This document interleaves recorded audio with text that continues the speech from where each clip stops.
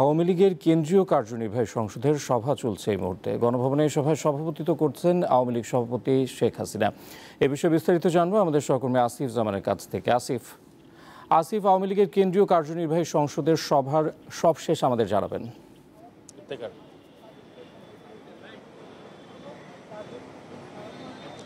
ইফতেখার এই কার্যনির্বাহী কমিটির সভার বিষয়ে কিন্তু এর আগে আওয়ামী লীগের যিনি দপ্তর সম্পাদক ব্যারিস্টার বিপ্লব বড়ুয়া, তিনি কার্যনির্বাহী কমিটির যারা সদস্য রয়েছেন, তাদেরকে চিঠি মারফত জানিয়েছেন যে বিকাল চারটায় এই সভা শুরু হবে, যার সভাপতিত্ব করবেন আওয়ামী লীগের সভাপতি এবং প্রধানমন্ত্রী শেখ হাসিনা।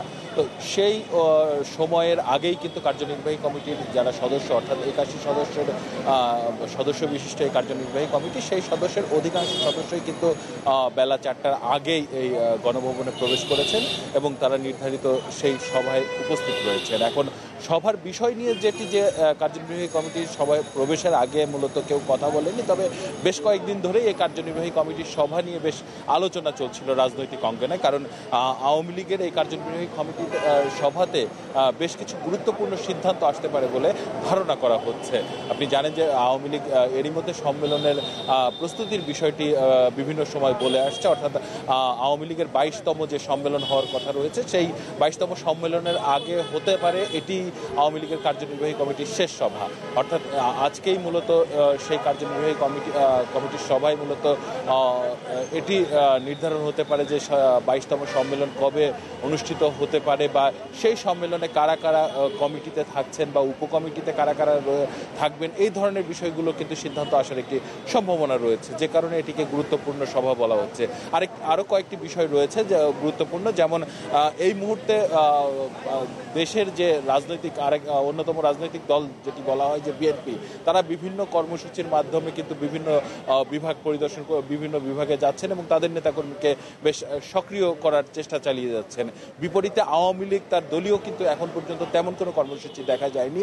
মূলত ধারণা করা হচ্ছে যে আজকের এই কার্যনির্বাহী কমিটির সবাই সেই ধরনের দিক নির্দেশনাও আসতে পারে নেতৃবৃন্দের কাছ থেকে যে এখন তারা আসলে কি ধরনের সভা সম্মেলনের মাধ্যমে কর্মীদেরকে প্রস্তুত করবেন বা কর্মীদেরকে উজ্জীবিত রাখবেন নির্বাচনের আগে সে ধরনের বিষয়গুলো কিন্তু রয়েছে। এরই মধ্যে আওয়ামী লীগের সাধারণ সম্পাদক কিন্তু ইঙ্গিত দিয়েছেন যে আগামীকালকে ঢাকা জেলার যে সম্মেলন রয়েছে, সেখানে তারা প্রচুর জনসমাগম ঘটাবেন। তো সেই হিসেবেই মূলত রাজনৈতিক অঙ্গনে বেশ আলোচনা চলছে যে আওয়ামী লীগের এই কার্যনির্বাহী কমিটিতে এই ধরনের গুরুত্বপূর্ণ সিদ্ধান্তগুলো আসতে পারে।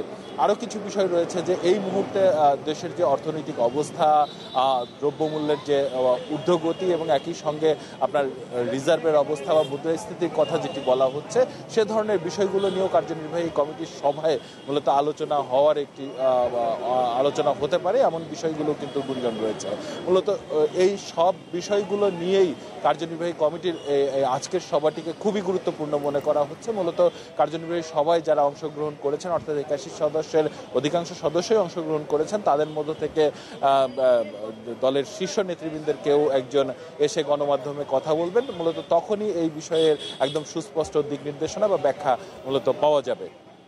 ইফতেখার। দর্শক সহকর্মী আসিফ জামান জানাচ্ছিলেন, আওয়ামী লীগের কেন্দ্রীয় কার্যনির্বাহী সংসদের সভার বিষয়ে সবশেষ।